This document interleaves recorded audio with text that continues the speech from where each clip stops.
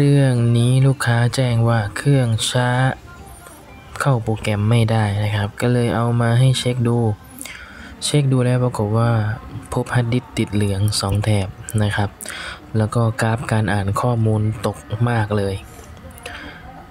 ตกจนแบบจาก100เมกต่อวินาทีเหลืออยู่ 0.1 0.2 นะครับ ตรงนี้แหละที่ทำให้เครื่องลูกค้าเกิดอาการเข้าโปรแกรมไม่ได้ แล้วก็อืดมากนะครับผม ก็เลยแจ้งลูกค้าเปลี่ยนเป็น SSD นะครับ 256กิกพร้อมย้ายข้อมูลให้ลูกค้าด้วย แล้วก็ใส่กล่อง encoder ด้วยสำหรับลูกเก่านะครับ เอาให้ลูกค้าไว้ดูดข้อมูลสำคัญ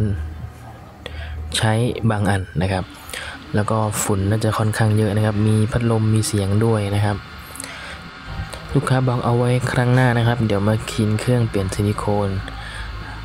อ่าไม่เป็นไรนะครับ นี่ฝุ่นเต็มเลยก็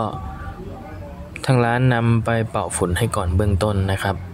ก็โล่งขึ้นเยอะนะครับผมนี่เพราะว่าเปลี่ยนซิลิโคนมันต้องลื้อหมดเลยนะครับ